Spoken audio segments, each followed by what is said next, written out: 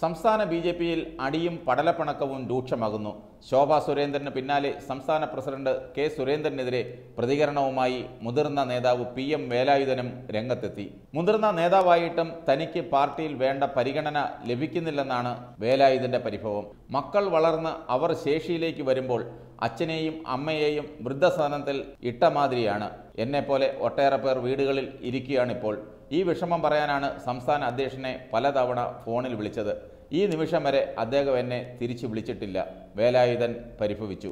തന്റെ മണ്ഡലമായ പെരുമ്പാവൂരിൽ രണ്ട് തവണ വന്നുപോയിട്ടും സുരേന്ദ്രൻ തന്നെ കണ്ടില്ല. തങ്ങൾക്ക് പരാതികൾ ഉണ്ടെങ്കിൽ പറയാനുള്ള ഏക സ്ഥാനം സംസ്ഥാന കമ്മിറ്റിയാണ്. അത് കേൾക്കേണ്ട ബാധ്യത സംസ്ഥാന പ്രസിഡന്റിനും. അടിയന്തരാവസ്ഥ കാലത്ത് തല്ലുകൊണ്ട് രണ്ട് തവണയാണ് ജയിലിൽ കിടന്നത്. ഒരാശയത്തിനു വേണ്ടി ഉറച്ചു നിന്നയാളാണ് താൻ. പക്ഷേ ഇന്ന് തനിക്ക് വളരെ വേദനയുണ്ടെന്നും പി എം വേലായുധൻ പരിഭവിച്ചു. സുരേന്ദ്രനെതിരെ വിമർശനം ഉന്നയിച്ച വേലായുധൻ മാധ്യമങ്ങൾക്ക് മുന്നിൽ വിതുമ്പുകയും ചെയ്തു.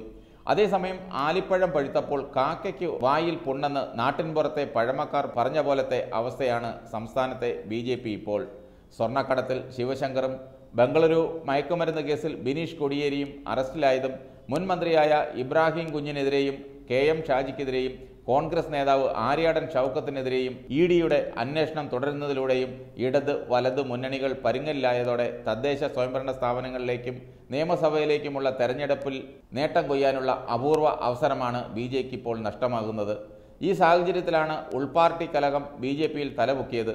കേന്ദ്ര ഏജൻസികൾ ഇടത് വലത് മുന്നണികളിലേക്ക് നീളുമ്പോൾ നേട്ടം കൊയ്യാനായി നിൽക്കുന്ന ബി ജെ പി നേതൃത്വത്തിന് തലവേദനയായിരിക്കുന്നത് പാർട്ടി പുനഃസംഘടനയെ തുടർന്ന് ഉയർന്നു വന്ന പ്രശ്നങ്ങളാണ്.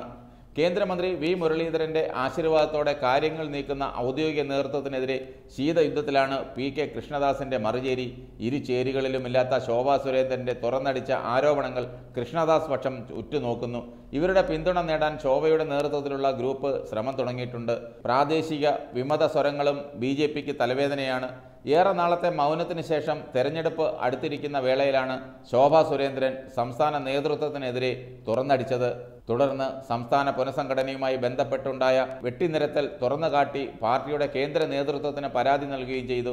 സംസ്ഥാന പ്രസിഡന്റായ കെ സുരേന്ദ്രൻ തന്നെ രാഷ്ട്രീയമായി ഇല്ലായ്മ ചെയ്യാൻ ശ്രമിക്കുന്നു എന്നാണ് ശോഭാ സുരേന്ദ്രൻ നൽകിയ പരാതിയിൽ വ്യക്തമാക്കുന്നത്.